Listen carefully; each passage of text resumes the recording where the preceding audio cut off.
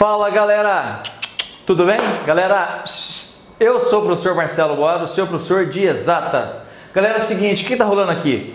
É, física, um grupo de, de resolução de exercício que eu chamei de treino rápido, tá bom? Então, qual é a ideia? Exata, você precisa fazer muitos exercícios, lembre-se disso, tá? Eu vou colocar o exercício na sua tela, você leia junto comigo, pausa o vídeo, tenta você fazer. Depois você solta o vídeo e me vê resolver para você aprender bacana, um monte de exercício bacana para você estar bem, tá bom? Ó, galera, lembre-se de já vi nos vídeos, inscreva-se no canal, isso é bastante importante para ajudar o professor aqui, tá bom? Essa questão é uma questão que envolve é, análise dimensional, uma questão que caiu na estadual do Ceará. Dá uma olhada na sua tela, ó. Galera, então, ó, essa questão diz assim: em um gás ideal, o produto da pressão pelo volume dividido pela temperatura tem, no Sistema Internacional, unidade de medida de. Opa, outra questão de análise dimensional, né?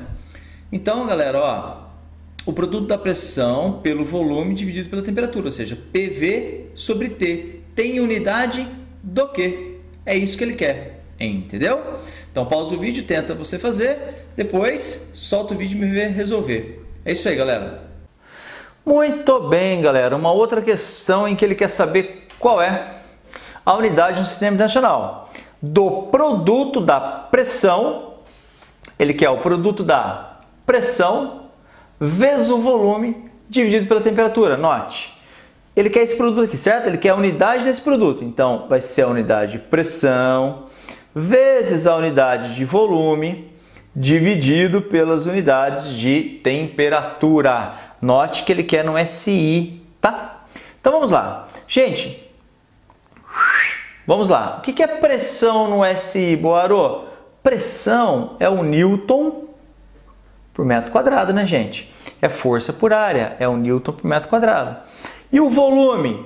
O volume é o metro cúbico, não é? Newton por metro quadrado, metro cúbico, dividido pela temperatura, unidade de temperatura é o Kelvin. Ah, então peraí, então peraí. Vamos escrever isso aqui, trabalhar então o que nós temos ali em cima.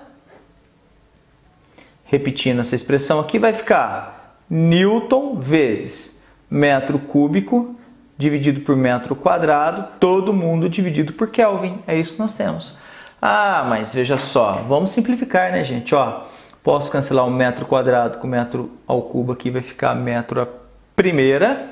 Então ficou Newton vezes metro, Newton vezes metro, ok? Dividido por quem, Boarô? Dividido por Kelvin. Opa, quem que me dá isso como resposta? Letra B, né? Newton, olha lá, ó, questão, resposta, letra B. Newton vezes metro por Kelvin, beleza? Muito bem, galera. Esse aqui é um fechamento padrão que eu fiz para os vídeos de treino rápido, tá? De revisão do treino rápido. Então, no final do vídeo eu deixo sempre para você os links, um link para você cair na playlist, isso aqui que tem lá no canal, tá bom? Revisão física, treino rápido. Eu deixo para você o link também da parte teoria desse exercício que você acabou de resolver, que você acabou de ver eu resolvendo, tá? E outros links de outros exercícios mais. Esquece de nos vídeos, inscreva-se no canal, dá aquela força que você puder dar para o professor Bora aqui, tá bom?